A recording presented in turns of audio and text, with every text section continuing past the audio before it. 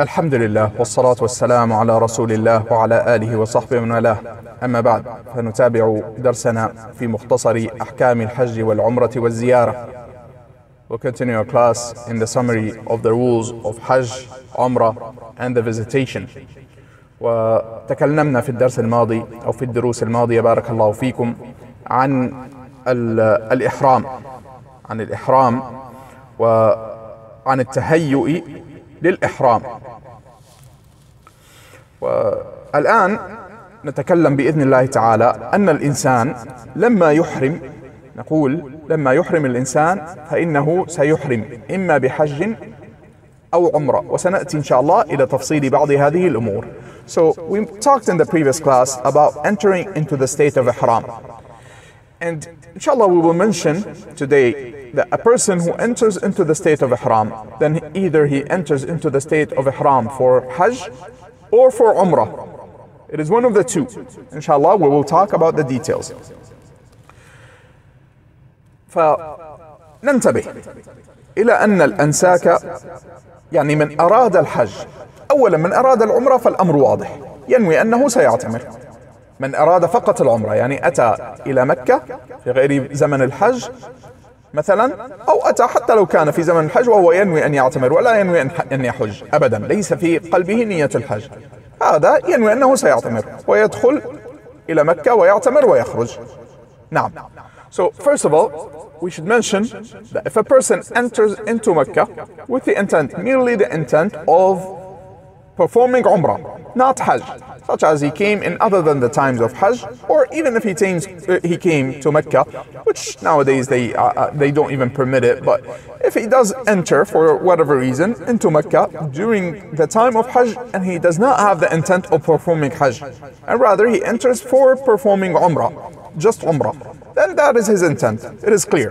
He makes, he enters into the state of Ihram, goes to Mecca, performs Umrah and leaves. Inshallah we will talk about what, how Umrah is performed. Inshallah سنذكر كيف كيف تكون العمرة وما هي أعمال العمرة في دروس لاحقة. فقط نبين الآن نية الإنسان لما يدخل في الإحرام.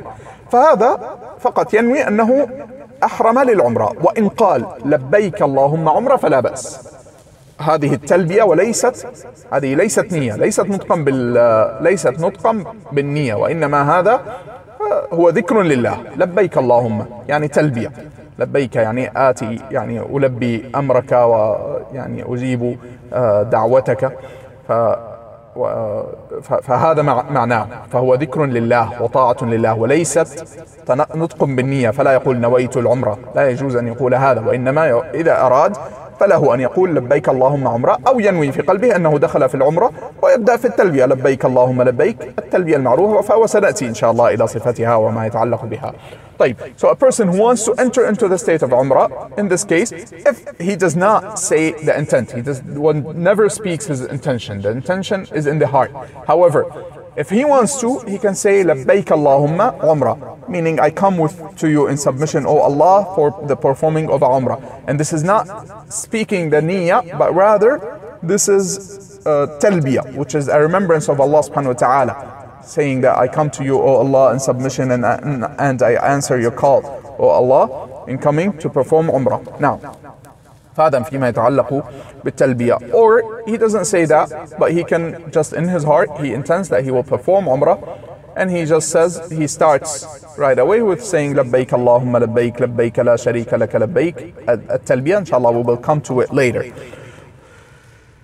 أما أما من أراد أما من أراد الحج فله ف فله أن يختار واحدا من ثلاثة أنساك. If a person intends to perform Hajj, then he chooses one of three things. ينبغي التنبه لهذا بارك الله فيكم. One must pay attention to this. فإما أن ينوي فقط أن يحج ولا ينوي أن يأتي لا ينوي أن يأتي بعمرة في مع حجه هذا وهذا يسمى الإفراد يعني أفرد الحج أن يحرم بالحج فقط من الميقات ويبقى على إحرامه إلى أن يؤدي أعمال الحج يعني يأتي يحرم من الميقات أو إذا كان في مكة من أهل مكة يحرم من من بيته أو إذا كان أقرب من الميقات كما ذكرنا ولا عادة لا حاجة لإعادة هذا. إذا كان يسكن أو كان يعني في أقرب من الميقات فإنه يحرم من مكانه. ويحرم وينوي أنه سيحج. أنه ينوي أنه يعني سيحج. وأنه سيأتي بالحج. هذه نيته. ولا ويبقى على إحرامه. فيحرم من ذلك المكان الذي هو فيه ويبقى محرما إلى أن ينتهي من أعمال الحج. كلها وسنأتي إلى أعمال الحج بإذن الله تعالى So one possible way if a person intends to perform Hajj and only Hajj no Umrah along with his Hajj he will just perform Hajj then he gets ready and he enters into the state of Ihram with the intent that he will perform Hajj and he continues to be in the state of Ihram until he completes the actions of Hajj. Until he finishes the actions of Hajj and then he will leave the state of Ihram. فهذا نوع وهو الإفراد. This is one type and it is to single out يعني meaning to do Hajj alone. To just do Hajj alone. النوع الثاني هو القران. والقران أعماله كأعمال الحج وحده كما كالمفرد ولكن آه ولكن ينوي بحجه هذا أنه يأتي بحج وعمرة معا يعني هي نفس الأعمال. لن يأتي بأعمال عمرة منفصلة. سيعمل نفس الأعمال نفس أعمال الحج فقط كأنه مفرد وهو النوع الأول, الأول الذي ذكرناه. ولكن في نيته أنه يجمع الحج والعمرة معا. هكذا نيته. وهذا يجزئ. ولكن سنأتي بإذن الله تعالى أنه سيكون عليه نسك. هذا سيكون عليه هدي هدي القرآن. So the second type is for the person to perform Quran, meaning they, the one merges Hajj and Umrah together. And what he does is the same exact actions as the first one that we mentioned, as the person who performs Hajj by itself. However, his intent is that he's performing both Hajj and Umrah at the same time. Same actions, same exact, exact actions. But his intent is that he is performing Hajj and Umrah together. Well, however, one additional thing that he has to do is that he has to slaughter. He has to slaughter because that he is performing both Hajj and Umrah, so he must slaughter. والقران وإن شاء الله سنأتي إلى ما هو الأفضل النوع الثالث النوع الثالث هو التمتع وهو أن يأتي أن يحرم بعمرة لما يمر بالميقات أو في المكان الذي سيحرم منه يحرم بعمرة بعمرة فقط.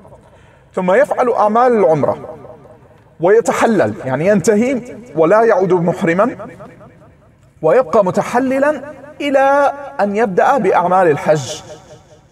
فيحرم من جديد للحج ولا يخرج من مكة كما قلنا يحرم من مكانه. ولكن يحرم بالحج وحده بعد أن يكون قد انتهى من أعمال العمرة.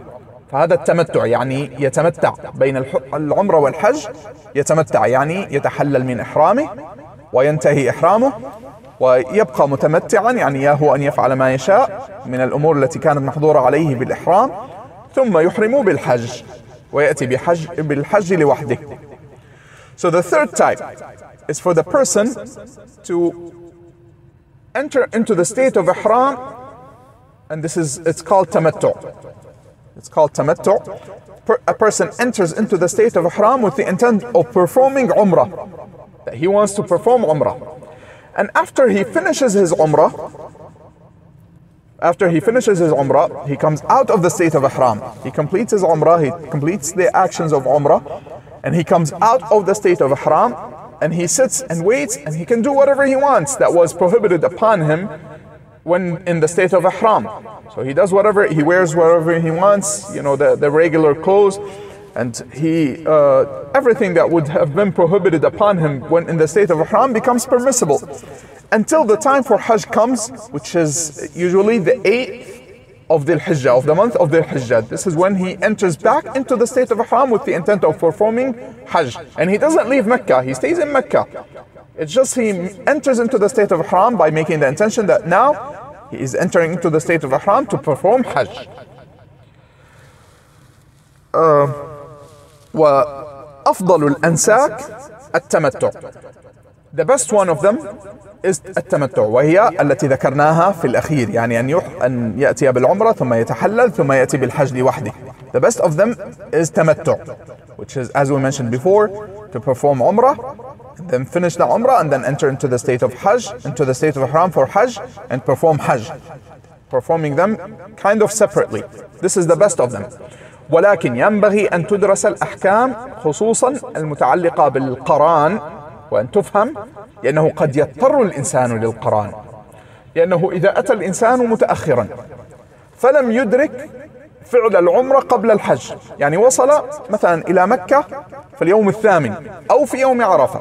فإنه يقرن يدخل العمرة على الحج أو إذا حاضت المرأة ولم تستطع أن تأتي بعمرة منفصلة يعني أحرمت وهذا خصوصا كان قديما أقصد الحالة الأولى الذي تأخر كان قديما. ربما يأتي مثلا كانوا يأتون بالراحلة وكذا وبال يعني على على الدابة أكرمكم الله فيحرم الإنسان ويأتي فربما لا يصل إلى مكة إلا وقد صار يوم عرفة وهو محرم. وكان قد أحرم بعمرة فإنه يدخل العمرة على الحج ويجعلها قرانا. So back in the day when people used to ride camels and the likes when traveling to go perform Hajj, they might enter into the state of Ihram in the miqat and then not reach Mecca until it is time for it is the time for Hajj. So in that case, the person merges his Umrah with his Hajj and he performs Quran in that case. And uh, similarly, if a woman, المرأة إذا حاضت حاضت المرأة فإنها يعني حاضت مثلا قبل إحرامها أو أحرمت ثم حاضت فهذه لا تستطيع أن تأتي بأعمال العمرة كما سيأتي معنا وإنما تدخل إذا لم تطهر قبل الحج فإنها ستدخل عمرتها مع حجها وتقرن وتقرن So if a woman, she becomes in her state of menses, if she has her menses, she gets her period, before entering into the state of ihram or after entering into the state of ihram. And she was, she did not become finish her menses, so she was not able to perform umrah, and the time for hajj came. Then she merges his, her umrah with her hajj. She merges them, and she becomes qarina. She, she becomes performing both of them at the same time. Inshallah, uh, نتكلم نقول يعني نختم بهذا نختم بهذا أنه إذا إذا أحرم إذا كان سيفعل حجة وعمرة يعني إذا قرن أو تمتع فيكون عليه هدي. يكون عليه هدي وهو أن يذبح وسنأتي إن شاء الله إلى الهدي وأحكام الهدي. ولكن يذبح للعمرة إلا إن كان يسكن بمكة من حاضرين المسجد الحرام.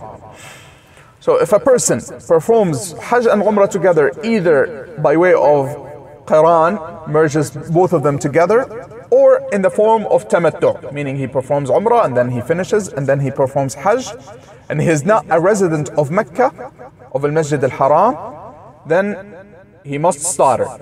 He must slaughter, and we will come to the details of that. Now, و على كل حال إذا أحرم بأحد هذه الأنساك لبى عقب إحرامه فيقول لبيك اللهم لبيك لبيك لا شريك لك لبيك إن الحمد والنعمة لك والملك لا شريك لك. ويكثر من التلبية ويرفع بها صوته. إلا النساء ترفع صوتها إذا كانت مع محارمها أو مع نساء مثلها ولا ترفع صوتها إذا كانت في حضور الرجال الأجانب. if a person enters وإنما تقولها بصوت منخفض لا ترفع بها صوتها. If a person enters into the state of ihram for any of these three things then he immediately starts with talbiyah, saying labbaik, labbaik la sharika laka labbaik, inna alhamda wa ni'mata laka wal mulk la sharika lak. And he raises his voice with it and he repeats it often as much as he can. And as for the women, they can raise their voices if, if she is with women or with her male relatives, close relatives, unmarriable kins or her husband, and she does not raise her voice with the talbiyah in a place where the men can hear her, men uh, who are not her unmarriable kin. ونكتفي بهذا المقدار وإن شاء الله في الدرس القادم نتكلم عن محظورات الإحرام إن شاء الله in the next class we'll talk about the things that are prohibited when in the state of ihram وصلى الله وسلم وبارك على نبينا محمد وعلى آله وأصحابه أجمعين